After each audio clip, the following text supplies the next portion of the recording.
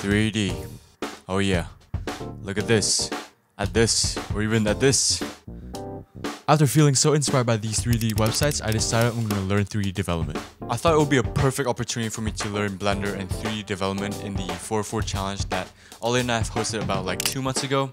So I took this opportunity to, once again, brute force myself to learn things I haven't learned before and create a creative 4-4 page with 3D elements. However, I've got only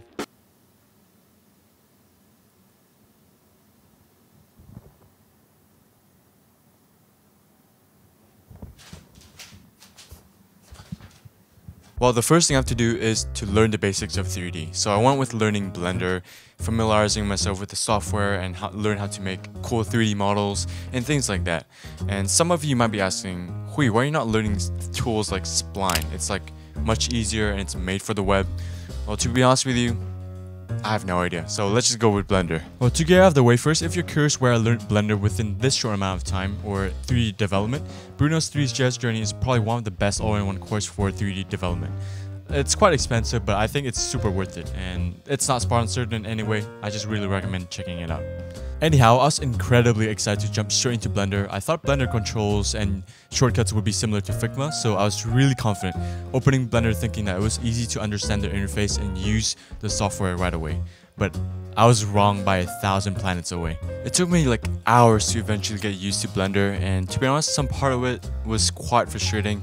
But hey, at the end of the day, it was not too bad and I was able to follow along we're doing good. After spending time to learn the software, I eventually got used to the basics, so I spent that time just playing around with basic models, and most importantly, creating a lot of deformed monkeys. So it was generally quite fun to play around in Blender. Now that I have 10 years of experience with Blender, it was time to test out my skills by doing a mini project, creating a hamburger. As I followed along Bruno's tutorial, I eventually got used to some of the basic modifiers like subdivision surface and beveling, I was also a bit more comfortable figuring out how to switch editing modes to manipulate the geometries of the object. But hey, it doesn't look bad, right? It looks edible. Not gonna lie, after making this hamburger, I definitely felt so much more confident using Blender. So after that, I felt a little bit more comfortable just showing off my own and you know start actually making some progress on my 4-4 page. But to make sure that I'm on the right track, I prepared myself a mini roadmap from start to finish, listing out what I should learn and create moving forward. So my next step was to create my own models so I can use it for my own 4 page, but I didn't really know what to make and I had this initial idea in my head where there would be a few 3D models floating on the page in space with a big 4-4 slapped in the middle. So I went to do some digging on the internet looking for inspiration, and after some time on Pinterest, my shiny object syndrome caught the attention of these pretty looking dispersion glassy models. Then that introduced me to the world of shaders. So I spent like hours watching this specific tutorial on YouTube to recreate this specific glass shader so I can later export into code and use it for my final project. But then reality struck me. As soon as I got this done and went to export to code, guess what happened? It became like this. And that time I realized how many hours I've wasted just to implement these shaders. And in fact, after doing some searches on Google, I only needed the model and the shaders had to be done in code.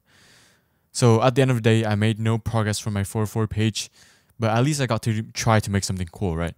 So on day 4, I scrapped the idea of using shaders in general since it would take me quite a while to figure out especially given the time frame. So I would spend the rest of the day creating a lot of different models for my scene and most of them I just kind of played around with the modifiers and the texture settings until I found something that I quite like.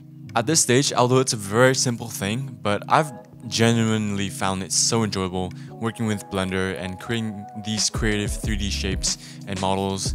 Yeah, it's it's really fun and although it's a very new territory for me, I can definitely see myself doing more of this in the future. Now that I've learned the basics of Blender and have my scene ready, it's about time to code. To be honest, I did not really know where to start, but I remember watching a YouTube video suggesting I should learn React Three Fiber first if I already know React. In my opinion, if you know React, uh, you can get started with React Three Fiber really quickly and learn the basics there. Uh, this is so that's exactly what I did. So the rest of the day I spent watching Bruno's tutorials to learn the basics of React Three Fiber from the syntax, understanding the library's built-in components, handling meshes, canvases, and so much other stuff. It's literally limitless. I also learned how to use a helper library called React3J. I won't get into the nitty gritty details, but this library made my experience doing 3D development so much more fun and simpler. If you're diving deeper into 3D development, there's some honorable mentions as well. I recommend using the React Three Fiber Performance Library to monitor your performance so your computer doesn't explode to a million pieces. And also use the Leva library to tweak your 3D settings in the browser instead of manually changing the values in code. After long hours of learning the React Three Fiber, I was confident to start working on the 404 page, so I referred to Ollie's video to import my model into the code and add some interactivity into it. But after receiving some feedback from the community that it took too long to load the models, I had to do something about it. So I did some digging on what would improve the performance and I found that I needed to use low poly models to reduce the number of geometries that are being rendered on the scene. So I went to Blender again to reduce the number of geometries in my scene and low poly models. So this is what I have so far in the code. Wait, we're missing some lights. Okay, you know what? Time's ticking and I don't have much time left, so I gotta wrap this up ASAP. Despite learning about lighting in Bruno's course, I still couldn't wrap my head around it. So one of the last things I did for the day was to play around with the lighting in environment settings to try to achieve this dramatic and cinematic lighting-ish. Honestly, I have no idea what I'm doing, but I guess it's not bad.